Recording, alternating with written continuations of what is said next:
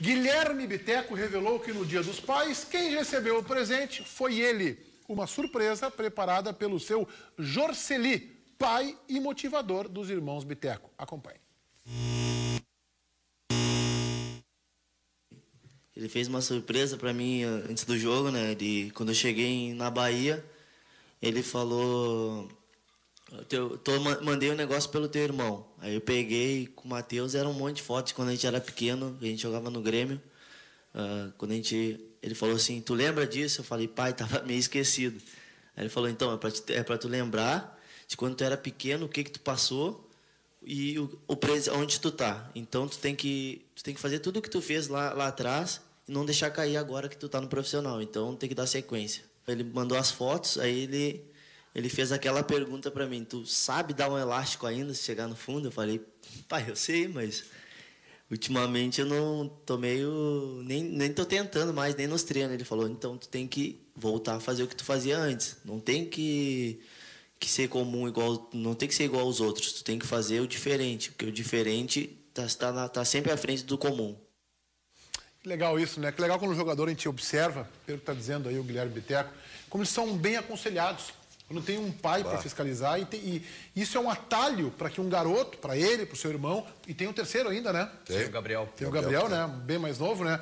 Que tem uma carreira promissora no futebol, quando são bem aconselhados, quando são bem cercados por é. amigos. Isso pode, muitas vezes, desviar uma carreira. E a gente viu isso em vários casos tanto no Grêmio quanto no Internacional, de garotos que tinham potencial e ou não eram bem aconselhados por seus pais, com licença, Ribeiro, ou não eram bem aconselhados por seus amigos, e o amigo tem uma influência, às vezes, nefasta na trajetória do jogador, que é quem morde, é quem cerca, e é quem leva para a noite, é quem leva, às vezes, para droga, para o álcool, para má companhia, para festa, para extravagância, e aborta uma carreira e uma família inteira que às vezes apostava naquele garoto se vê órfão do que o garoto iria receber de remuneração, de salário de proposta. Então, parabéns ao seu Jorceli por esse tipo de atitude, esse tipo de aconselhamento, esse tipo de dica para os seus filhos. Os garotos certamente serão abreviada a sua trajetória até o sucesso. Sabe que nós estamos. Isso aí é objeto de, de uma pesquisa é, social. É, hoje nós estamos vendo cada vez mais essas crianças, porque são crianças né, que entram no, no, no, no cenário do futebol é, com uma, uma responsabilidade de ser o salvador da pátria de uma família inteira. Né? Se isso não é, é, é, é, Então, quando é depositada muita pressão nessas crianças, isso tem uma consequência. Às vezes, dependendo do garoto, até acelera, ajuda, mas na maioria das vezes, isso não sou eu que estou dizendo, isso é uma pesquisa, atrapalha.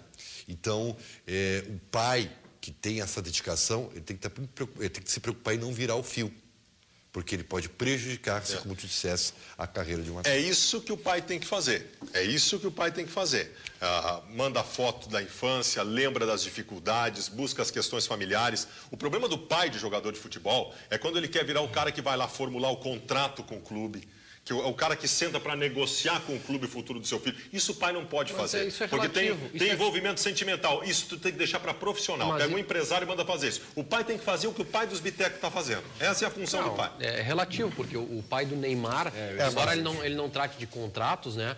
Mas ele é um cara que está sempre não, junto perfeito. com o Neymar. Mas ele e tem, ele, não é o Wagner Ribeiro que faz isso? Quem é que faz? Wagner faz Ribeiro. É o Wagner Ribeiro. Tem, tem, profissional. Ele, mas, ele, mas ele é uma, naquilo também. que o Meneghetti estava falando, ele tem um, um, acompanhamento, uma fiscalização, é, beleza. um aconselhamento que faz do o Neymar do, também o, o pai do Neymar é o seguinte, o Neymar ganha por mês entre publicidade e salário em torno de 2 ou 3 milhões de reais. Ganhava no Brasil, né? É. Agora deve ter mudado um pouco. É, o Neymar, o pai do Neymar dá uma mesada para o Neymar viver. Claro, uma boa mesada, mas uma mesada para ele viver.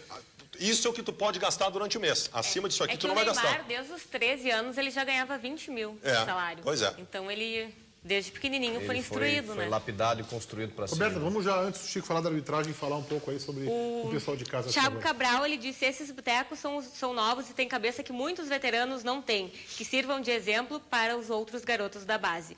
O Everton Pires disse, vejo eles como um, um grande futuro no Grêmio. Everton de Três Coroas.